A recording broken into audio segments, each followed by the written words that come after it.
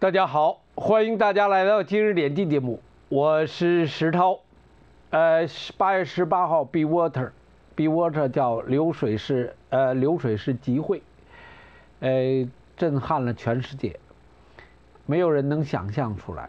但是呢，它在整个现实的环过程中，它是两点钟开始集会的，呃，那个时候还没有大雨，还没有起来。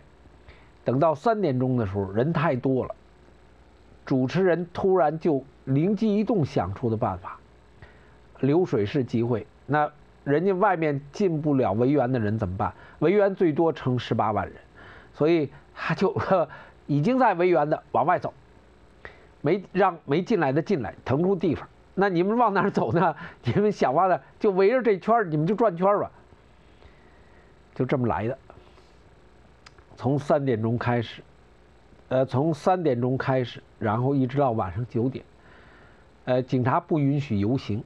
那当时包括黎智英，呃，包主要是黎智英和这个其他几个民主派人士，呃呃，在牵头的过程中，搭着大条幅的过程中，就变相成为了游行。呃，那个如果按照严格的条例上说，那是犯法的，但是呢，没有警察就没有暴力，这就是香港过去两个多月来所发生的真实的状况。而八月十八号呢，正好应对着六月十六号的两百万大游行，呃，相当特别，所以流水式叫流水式集会，呃，创造了一个奇迹，成为了香港历史当中最大的一次集会的场面。我相信在世界的范围内也很很难说有两百万人集会，不可能，对吧？集这完全就不可能。那在这个背景之下，咱也提到了。Be Water 的境界，就是今天香港人展展现出来的境界，已经超越了当年李小龙把这句话讲出来时的他的诠释的水平。今天的香港人，超越了当年李小龙这 Be Water 这句话的诠释的概念。李小龙当时在我看过他的原原说法，他只只是解释了在。固态跟液态，就是固态跟液态的背景之下，水可以无孔不入，聚之成形，你拿什么样的东西就可以装成什么样，但散之无物，他只能说到这儿。但今天的香港人，当他讲出天灭中共的时候，天灭中共意味着什么？不是我战胜中共，不是打倒中共。不是在政治层面让中共回家，不是，是天地人神佛道在这人世中的一，在这人与人间相关的一切的生命，正的生命灭掉，清除掉中共，这个概念就完全不同了。啊，当香港人嚷出这句话，当香港人把这句话。两次写在了紫金杯、紫金花坛的花上，紫金花坛的坛座上，分成三层啊。呃，第一个，第一次喷的是八月五号的主层，八月五号是八月四号晚上。第二次呢是八月十号喷在它的这个底层，那我不知道它上头还有没有了。事不过三，第三下共产党就完了，紫金花。是中共的代表，香港的代表，所以这是在我眼睛里，没有天灭中共的阐述，就没有今天八月十八号，八月十八号展现出来那份境界，呃，那个相当之高的境界，呃，因为没人能够，没任何一个人，绝非人的能力能够把握掌控将近两百万人在大雨中。以这样的方式来表达表达他们同一个声音，而这一次集会的目标是警察。这一次集会的目标，警察跟中共环为一体。今天的警察就是真正的匪徒，啊，真正的匪徒。它的起因是那位少女被打坏了眼睛，啊，这是那少女。今天我做节目看到最新的消息呢，她第一期就是她应该分成几期治疗了，她现在已经出院，今天出院，眼睛没有完全失明，眼睛可以看到光亮，可以看到光亮，呃，就是感觉到光亮，那他需要长时间的恢复，他需要长时间的治疗，呃。作为叫六幺二援助基金会，已经全都包下他的所有的医疗费用，呃，大概围绕他个人可能捐款上百万美金，大概是有了。所以，但无论怎么样，这件事情成为了一个导火索，这件事情成为了八月十八号香港人展现出来的境界，而他的境界就是针对香港警察的那种魔鬼式的邪恶。呃，结果就在有时差问题，六七个小时之前，呃，香港警察的卑劣之行为被医院的监视器拍到，被抓了很多人，他们是被警察打伤，关入了医院。两个穿着警服的警察对一个被关在医院里、躺在床上、被捆在病床上的一个六十二岁的老人。大打出手，直接应用警棍打六十二岁老人是个男人呐，六十二岁老人的下体。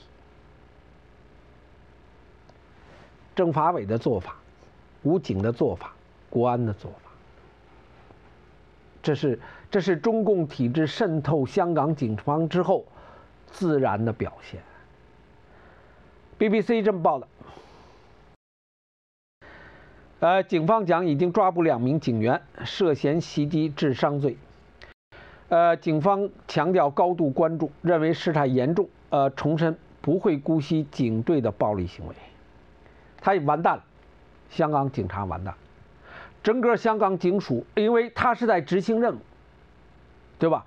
他在执行任务的过程中发生的事情，对不对？那主持该任务的总指挥。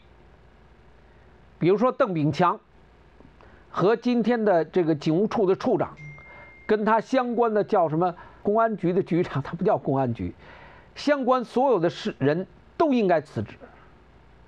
这是这是正常环境下，这是一个自由体制当中必须做到的。呃，香港民众党表示，六十二岁的上水市市民钟先生，呃。他六月二十五号因醉酒与人发生争执被这袭警，从而被穿进去。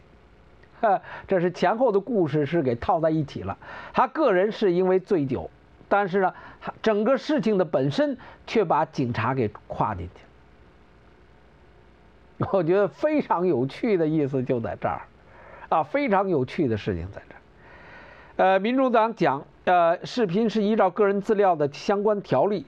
呃，从医院管理局获得的。钟先生曾两次分别历时七分钟、六分钟的私刑，呃，形容这种做法为十大酷刑，情节极其严重。转述事主及家人的话，指当时的警员说：“黑警就是这么做事的，我会搞掉你老婆跟你的家人。”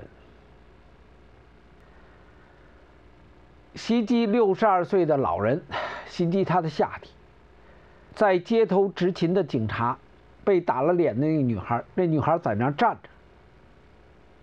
警察距离她的距离她的距离不会长过八米远，因为步带枪只能打那么远，子弹只能打那么远。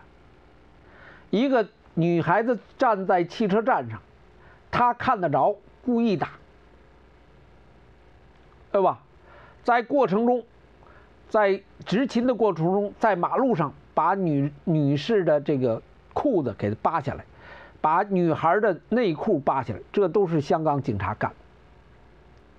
呃，基本就是这么个状况。七月二十一号，在元朗袭击警察、袭击市民的毫无差别的白衣人，那样的暴打，一切真相的暴露。而律政司却不对任何一个人提出诉讼，这就是今天的香港，啊，他就是港府就是个笑话了。呃，林卓廷有关行为令人震惊发指，是警队的败类，罪行之严重，可以判终身监禁。在场警察不制止，涉嫌公职人员人员行为失当，要求警务处长尽快把警员停职，展开调查。